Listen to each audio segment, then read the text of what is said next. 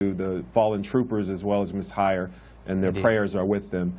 Um, well, you know, the president was on point. You know, I think he spoke it very loud and clear that, uh, you know, he won't condone any hate groups coming to uh, this precious right to assemble, no matter where you are, who you are, and that everyone that came with intent to uh, harm and hurt our American citizens are at guilt. And I think that's a fair uh, statement. The other thing, too, in the former uh, segment here, I just want to clarify something as it relates to Mr. Javier Palomarez.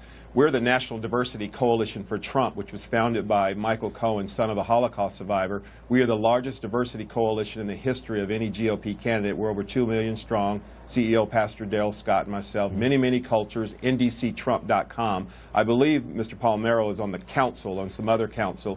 He was extended an invitation to come join us back in January because I saw the news article yesterday. I was kind of confused. Like, he's not part of our coalition, but I guess he's part of a council. So I just want to clarify that uh, for the record, sir. Uh, all right, Bruce, you, you do say, you, you, you stand by your comments that the president was entirely correct. One of the things he said was that there were some very fine people marching Friday night in that torch lit Right. rally. I, I just want to play a little bit of the sound from, from that so you can see it.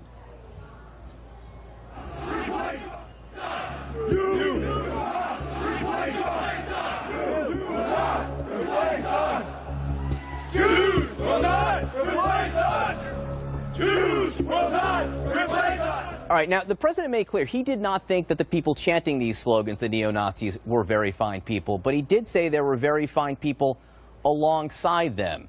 In your accounting of things, would very fine people allow themselves uh, to march alongside or be connected to the people chanting, you know, Jew will not be here for us, or whatever it was those awful people were saying? If I had to make an assumption based on, I assume we're trying to make assumptions on in the president's mind, uh, the terminology of fine people are people who go out and peacefully protest, people who go there and not harm or kick down store windows or harm people or shoot people or burn people or harm people. Fine people are people who, who practice that precious right to assemble and not harm people. So fine people determined. if I have to know if I do and I do know the president I know his heart was that uh, no matter where you're assembling that the, the the fine people are the ones who have intentions to go and whatever they're protesting no matter where you're in the world and want to assemble peacefully He also called them good people beyond just fine uh, in well other good cases. you are they're- they're- you they're- are good when you don't uh, harm or shoot someone sir or, or try to maim them or Are, hurt are you them good when you stand alongside people chanting anti-Semitic slogans? Well, no, I mean I don't. I don't like it, and I, I will tell you the, the worst thing that we're doing with this with this whole uh,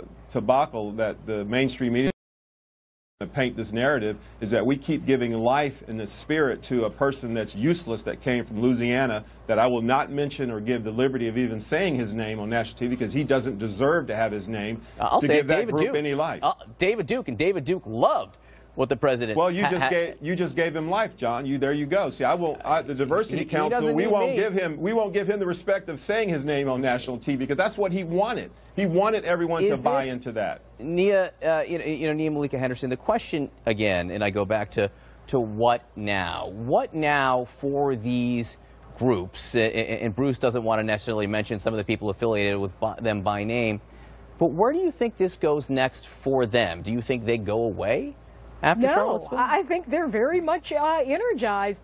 Uh, Bruce LeVell said there that he doesn't want to give uh, David Duke sort of credence and, and give him life. Well, you know, guess what? The president uh, has very much given David Duke life. I mean, uh, David Duke uh, and, and, and his ilk and those white supremacists and, and neo Nazis essentially see themselves as foot soldiers in Trump's revolution, right?